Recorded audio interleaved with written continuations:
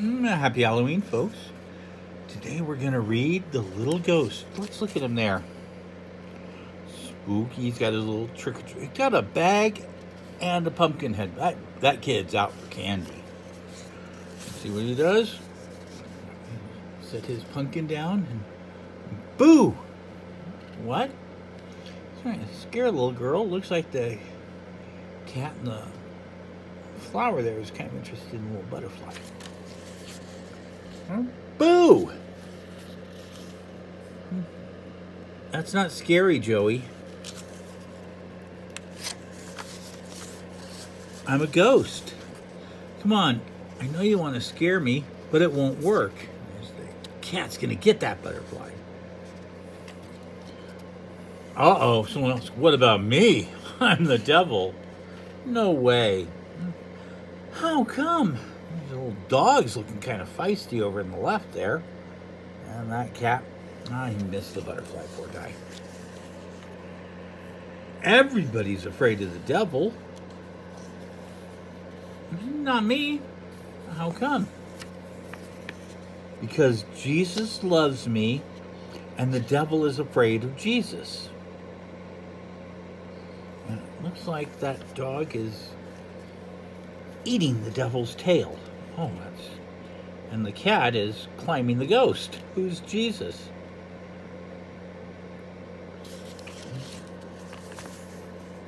Jesus is God, and he loves all the little kids. Red and yellow, black and white, they're all precious in his sight. That's nice. I, I do like that. That's nice. Jesus loves the little children of the world. But the devil hates us.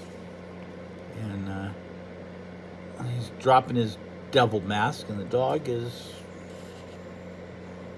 Oh, look, and the cat's climbing the ghost. Very cute stuff there. And Jesus came from heaven to save us from the devil. There's a dog tearing into that devil mask. Jesus had to do something for us. It was awful, but he did it because he loves us. Wow, what did he do? What the hell? Did that guy have a mouse in his. Look at that. That was a mouse. He had a mouse in his pumpkin. That is not a very nice trick or treat item. Someone was naughty. And the dog has torn up the devil mask, and now the cat's after the dog, which I think they might be anti cat. Cats would not be mad at a dog for tearing up a devil mask.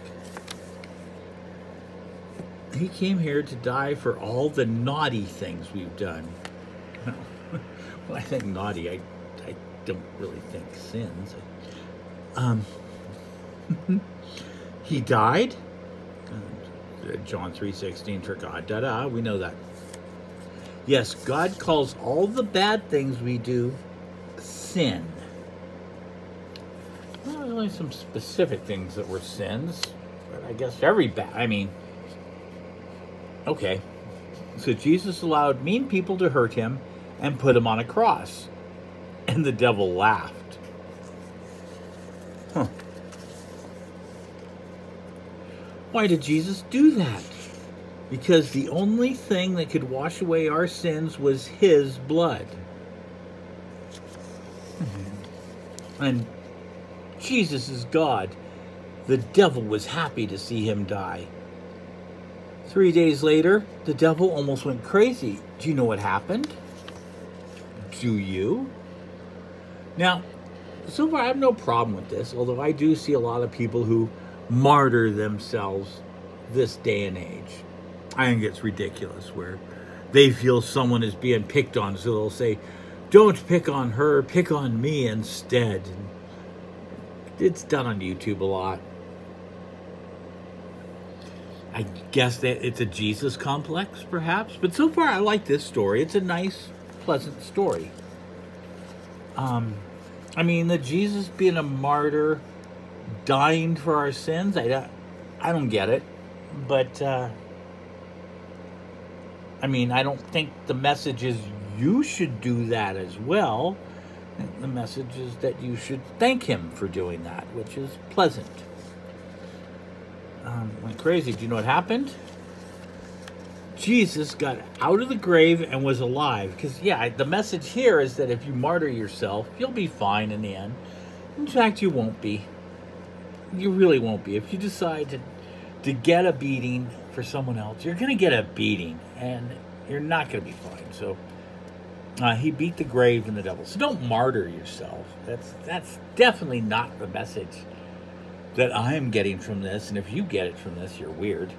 Um, the devil was furious because now children could get away from him.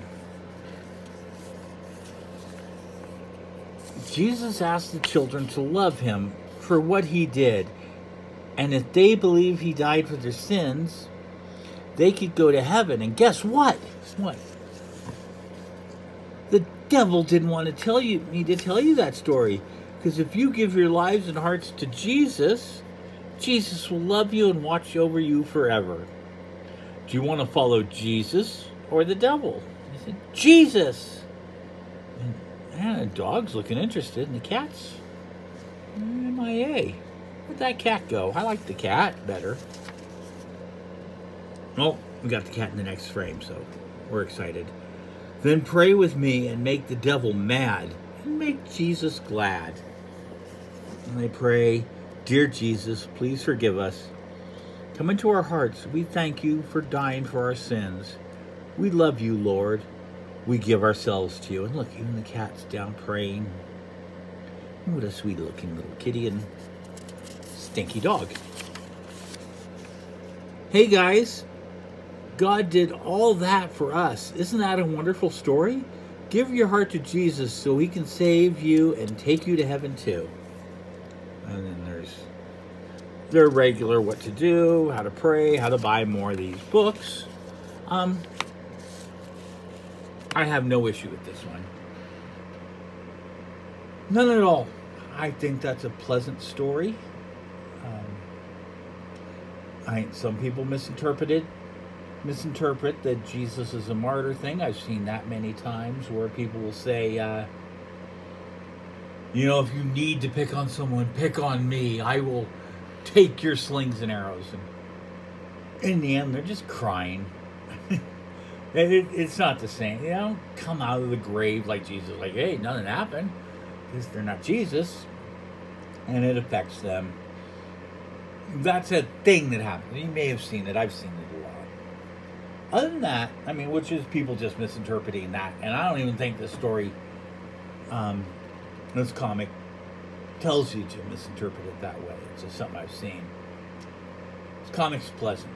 Um, and my whole point, I would like to say, my point in presenting these Chick tracks and others is to say that anything can be told in comic form. Comics are not for kids, they are for people. Um, if you want to tell whatever story, whatever message you want to tell, put it in comic form, it's as valid as any other form.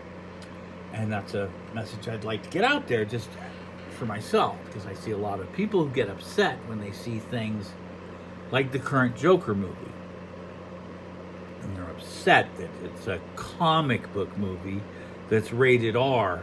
Well, it's a rated R subject about a character that's rated R. Um, just because it's comic book or just because it's animated or just because or just because does not mean it's only for kids. These people certainly were not thinking these are only for kids. This story may have been only for kids, but there's other stories about abortion and uh, oh, all kinds of adult subjects that will be seen. They weren't guiding them towards; they were guiding them towards everybody, and that to me is why I I choose some of these and why I I like to tell different types of comic stories from adult to kid level, everything, and tell people hmm, comics aren't for kids; they're for people. It's a, just a, a a medium of storytelling. But anyways, I like this one. I really did. I thought this was pleasant. All right, thanks, folks. Enjoy.